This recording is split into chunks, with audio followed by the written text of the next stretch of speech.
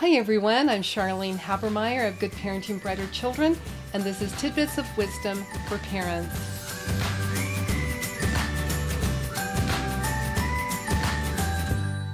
Today we're going to talk about the five musical musts. I call them the five musical musts because I think they're so amazing that every single child needs to be introduced to them, either through a book, the music, or both. And uh, so let's get started. The very first one is Carnival of the Animals by Camille Saint-Saëns.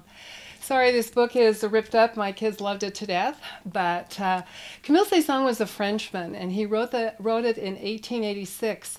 Uh, it describes 14 different animals, and he wrote it as a joke for his friends for a Mardi Gras celebration. He never expected that it would ever be uh, performed in public. In fact, he didn't want it to be performed in public because he was kind of making fun of some musicians and so forth. But in 1922, after he had died, it was performed by the um, orchestra at Colonne in Paris. And to the delight of millions, people loved it. And so, very, very quickly, it became a favorite amongst uh, people everywhere, but particularly with children. So, in 1940, Ogden Nash was uh, commissioned to write a series of poems that went with each one of them. And they're very funny, really hilarious. And then in 1995, Bruce Adolphe was commissioned to write a new set of poetry for each one of these 14 sections. So let me tell you a few CDs that you can get. The Classical Zoo, this one is with, it's narrated by Itzhak Perlman, but it has the new one of Bruce um, Adolphe, all the new poetry from Bruce Adolphe. This one has um, the all the poetry from Ogden Nash, and it's uh, narrated by Hugh Downs. I would get both of these actually, and I would play them for my kids, and they will love them. Now, another thing that you can do is you can play a guessing game. There are some that some of the CDs that you can get that don't have any of the narration, and so you can just actually play the music and you can give everybody a list of the 14 animals and say, okay, let's guess them. That will help their oral or their listening skills and it will make them really in tune to how those different animals sound.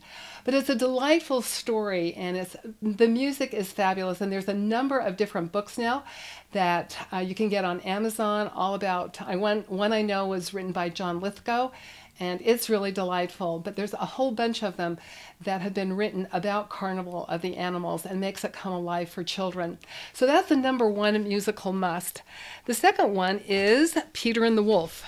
Peter of the in the Wolf was written by. Um, excuse me, I was written by Prokofiev, a Russian composer. He said that he wrote this not only to and for his children, but also for all the children of Moscow. This is a delightful story of a little boy named Peter. And he lives in the woods, and his grandfather tells him not to go beyond the gate. And Peter is, he's like all little boys, he's very, very curious, and he wants to go see what's beyond the gate. Well, unfortunately, there's a wolf beyond the gate. And so the whole story is around uh, Peter saving the day with his friends and everything uh, with this wolf.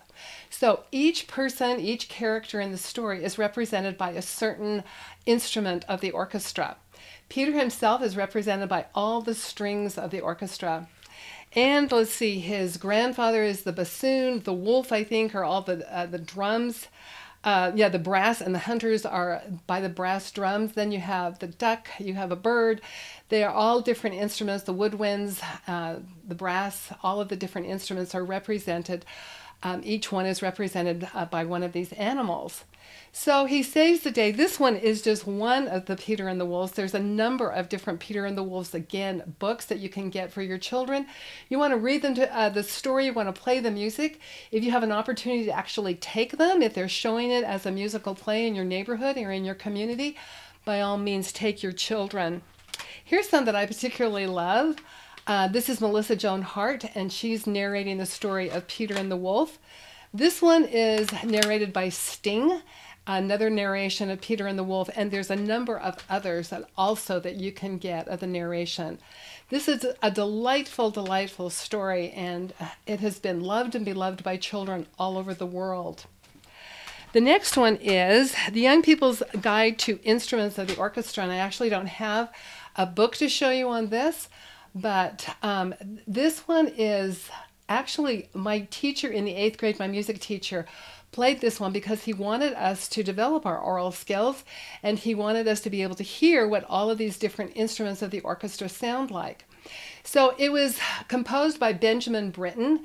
He was an English composer, and what he did is he took the music of um, Henry Purcell, a piece of music called Abdelaz, Abdelazar, excuse me, and in it he creates this enchanting entitled thing of uh, helping you to understand what each section of the orchestra sounds like, and then at the very end, he brings them all together again.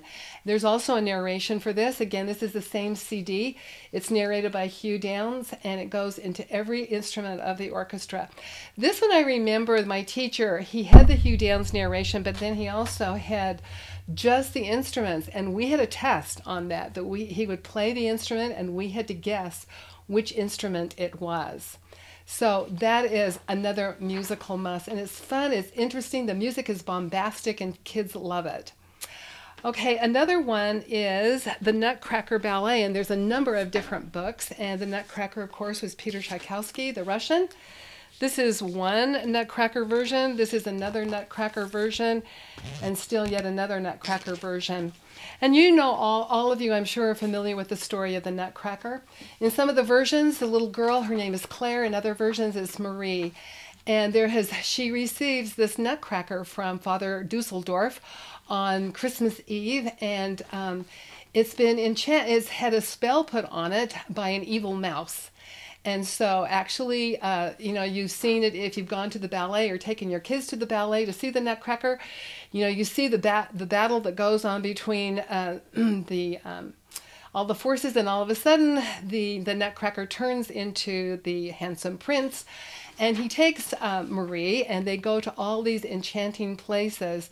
And at each one, there's beautiful music and beautiful dancing that's connected to it. And they're they're traveling literally all over the world, and they they go to all of these fun and different uh, and interesting places. The music is fabulous. Um, this particular one, this is by Valery uh, Gergiev and I love this version of it. It has all of it.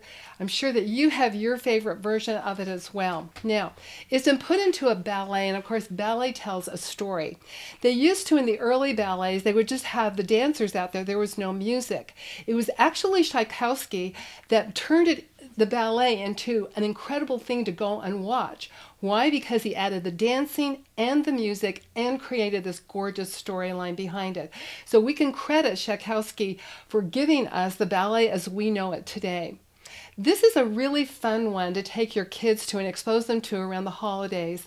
If you make it a, a, tradition so that they're going back, they're going to get used to sitting there and being able to get through the whole thing. There's lots of magical things that they do now with it. They make the tree grow, the tree becomes magical. The costumes are beautiful, the dancing is gorgeous. You can again prepare your children by playing the music, telling them and reading to them the story so that they will be prepared. Now, I had all boys, and I remember the first time we took them to the Nutcracker. They or Nutcracker rather. They just about all, just about you know, rolled up and died. They were not happy about it at all. But as we took them to it more and more, I says, I want you to gain an appreciation for the ballet and for this music and for this story. So the more you introduce it, the more you expose it to them, the better they're going to like it. Okay, the very last one is a favorite too. Is The Sorcerer's Apprentice. Now this one, this version happens to have a girl in it rather than the Disney version.